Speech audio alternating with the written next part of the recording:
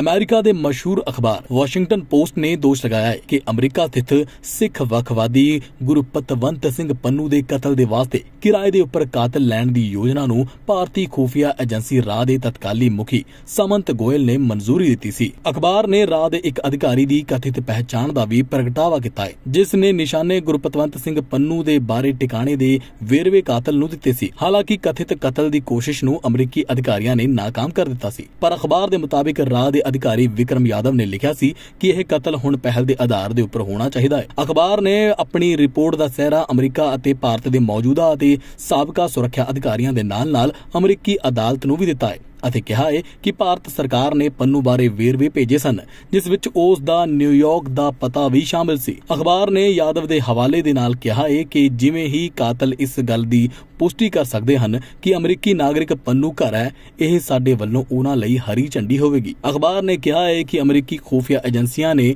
ਇਸ ਗੱਲ ਦਾ ਮੁਲਾਂਕਣ ਕੀਤਾ ਹੈ ਕਿ ਮੋਦੀ ਦੇ ਕੌਮੀ ਸੁਰੱਖਿਆ ਸਲਾਹਕਾਰ ਅਜੀਤ ਡੋਬਾਲ ਨੂੰ ਵੀ ਸ਼ਾਇਦ ਸਿੱਖ ਕਾਰਕੁਨਾਂ ਨੂੰ ਮਾਰਨ ਦੀ ਰਾਹ ਦੀ ਯੋਜਨਾ ਦੇ ਬਾਰੇ ਵਿੱਚ ਪਹਿਲਾਂ ਤੋਂ ਹੀ ਪਤਾ ਸੀ। ਪਰ ਅਧਿਕਾਰੀਆਂ ਨੇ ਜ਼ੋਰ ਦੇ ਕੇ ਕਿਹਾ ਹੈ ਕਿ ਇਸ ਦਾ ਕੋਈ ਸਬੂਤ ਸਾਹਮਣੇ ਨਹੀਂ ਆਇਆ।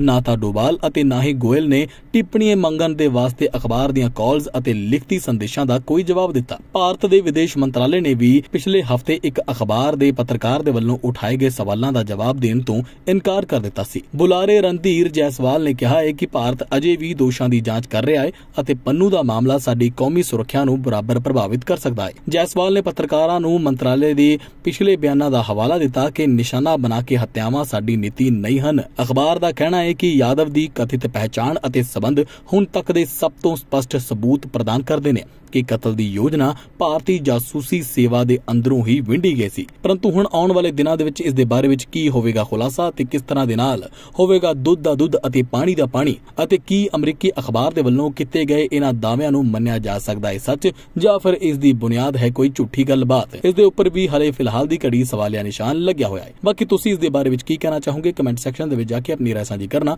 ਬਿਲਕੁਲ ਵੀ ਨਾ ਭੁੱਲਣਾ।